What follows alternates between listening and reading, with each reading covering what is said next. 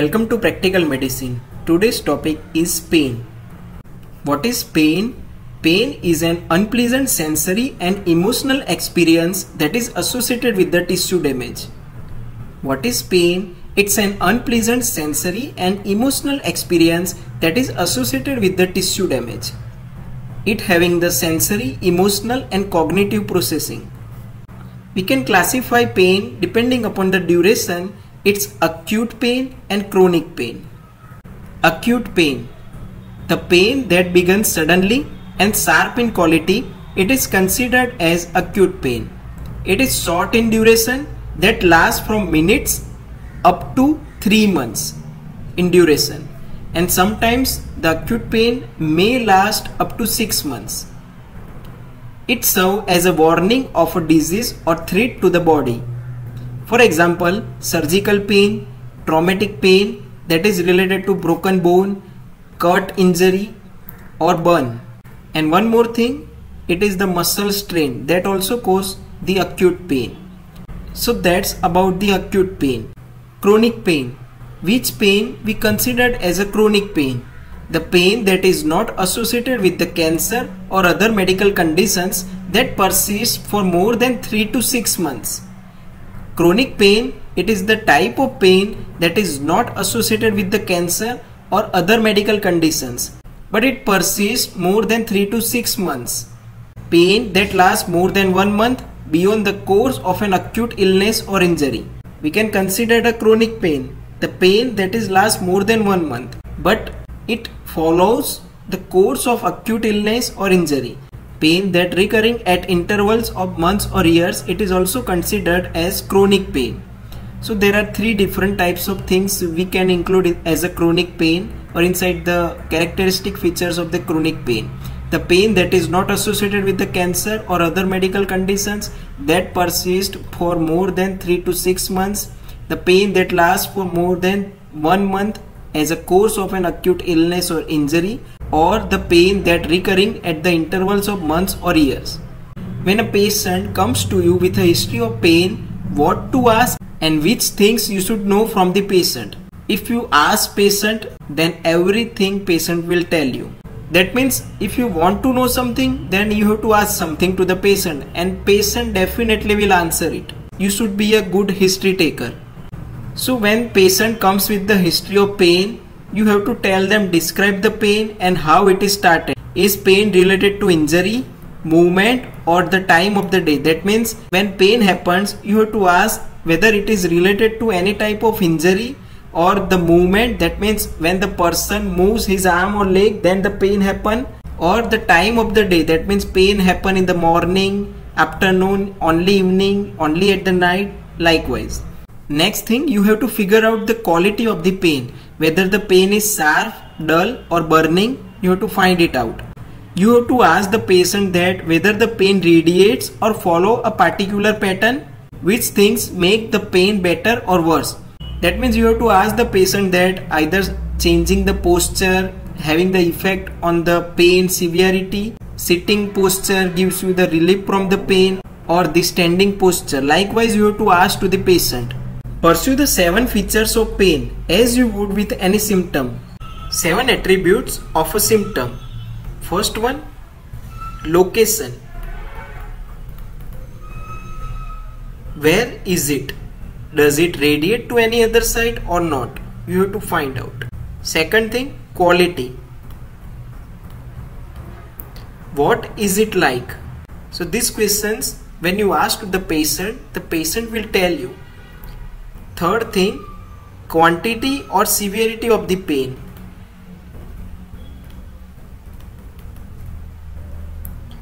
How bad is it?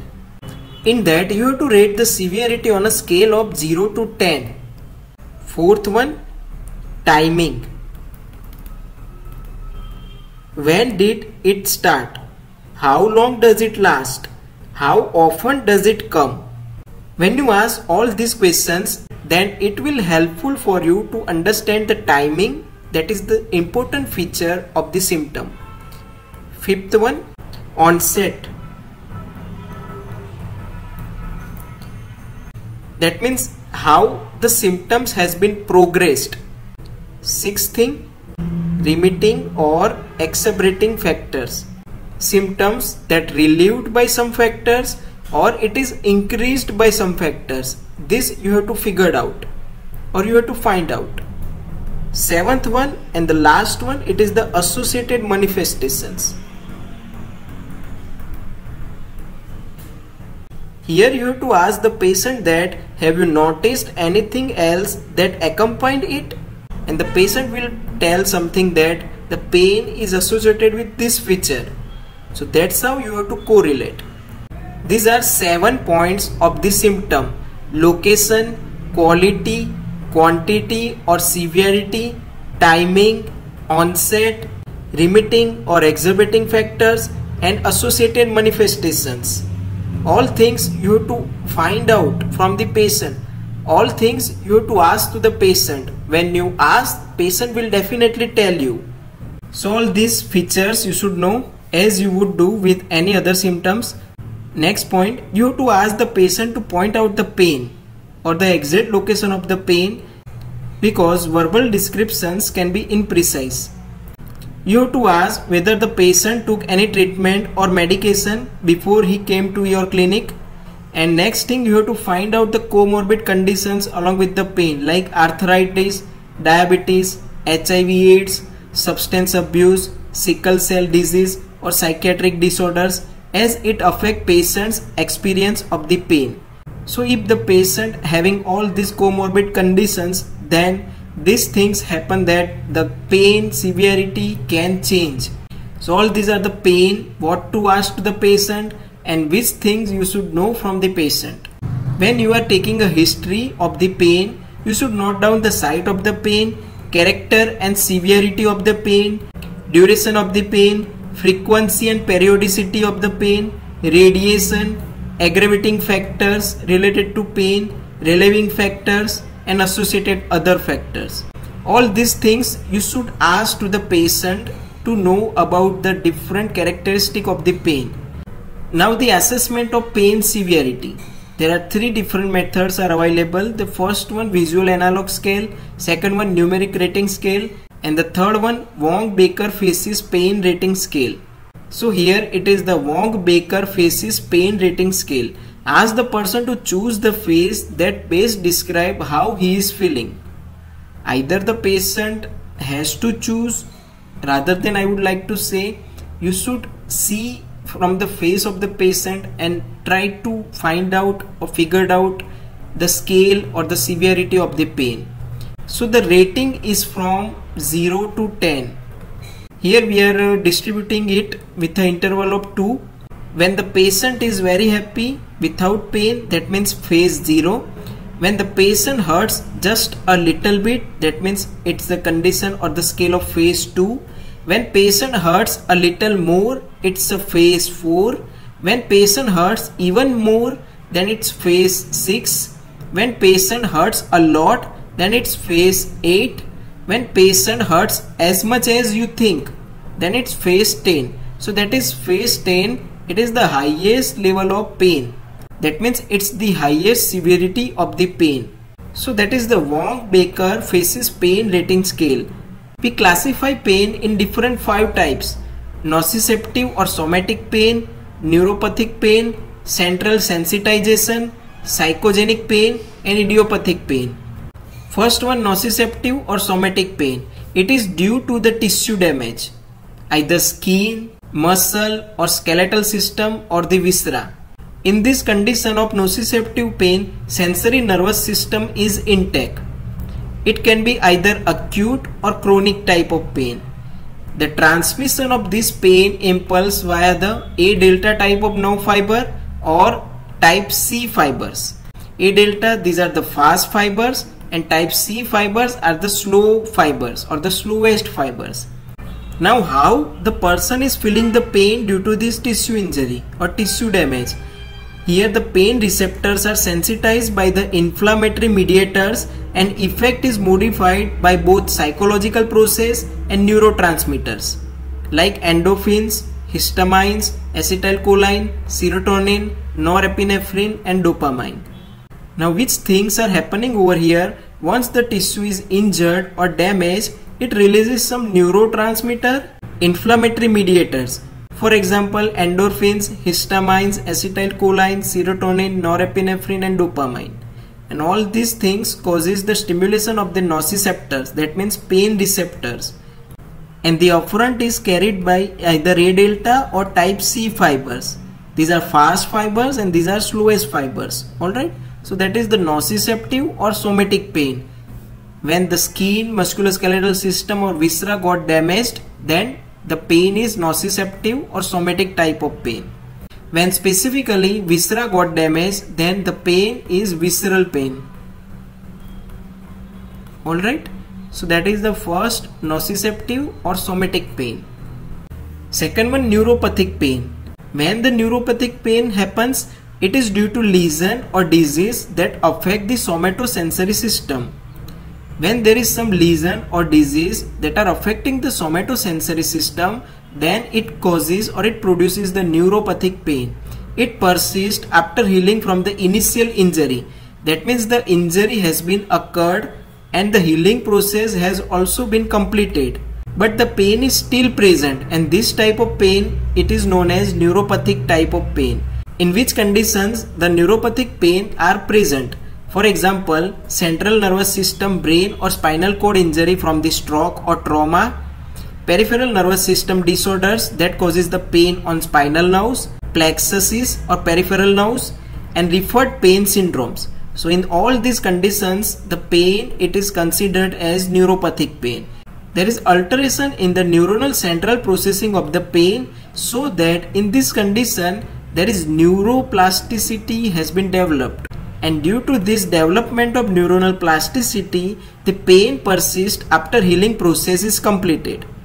So that is the mechanism why the neuropathic pain persists even after the healing process is completed.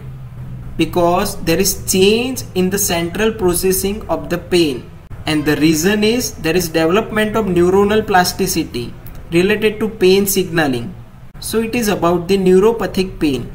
Now the third one central sensitization. There is alteration of the central nervous system pain processing and due to that there is amplification of the pain signals. In the last slide we saw that there is alteration in the pain processing but there is no amplification of pain signals. But in central sensitization there is alteration of the central nervous system pain processing and it causes the amplification of the pain signals. One thing we have to note down that even if the pain is lower in threshold and the stimuli is non-painful but still the patient responds it to a severe type of pain. So that is the type of central sensitization of the pain. For example fibromyalgia and this type of pain due to anxiety, depression and somatization disorders this base respond to medications that modify neurotransmitters like serotonin or dopamine etc. That means when we are prescribing the NSAID drugs, it doesn't have any relief from the pain. But when we prescribe some drugs that modify the neurotransmitters, for example serotonin and dopamine etc., then patient got relief. It's called central sensitization and the cause either due to anxiety, depression or somatization disorders. Now the next psychogenic pain. The pain depends on psychogenic disorders like anxiety, depression, personality, cultural norms and social support systems. So this type of pain it is known as psychogenic pain. Fifth one idiopathic pain. Pain without any identifiable cause. When the pain happens and it is without any identifiable cause then this type of pain it is known as idiopathic pain. So all these five different types of pain nociceptive or somatic pain, neuropathic pain, central sensitization of the pain, psychogenic pain and idiopathic pain. Before we are proceeding to the chronic pain management, I would like to tell you some management of the acute pain. First thing, analgesics, NSAIDs or opioids. Second thing, treat the cause. Then the pain has been relieved, specifically of the acute pain. Now the management of the chronic pain. First you have to measure the pain intensity and interference. You have to measure the mood. For example, treatable depression, anxiety and post-traumatic stress disorder PTSD. You have to measure the effect of pain on sleep and in this you also have to measure the risk of co-occurring substance abuse, measure the opioid dose and calculate the opioid dose equivalency. So all these factors you should keep in mind when you are managing the chronic pain. Now which are the outcomes of the chronic pain? You should figure out the analgesia. When you are giving the treatment to the patient, how much it is helpful to the patient. You have to find out how much pain is relieved. Whether there is activities of daily living is improved or not whether there is any side effects or adverse effect that patient is experiencing while on the medication and see whether the aberrant drug related behavior is present or not. So that is the chronic pain outcome. I hope through this video now you understand pain. If you like this presentation please try to share it with your friends, group, batch and colleagues. Thank you so much everyone.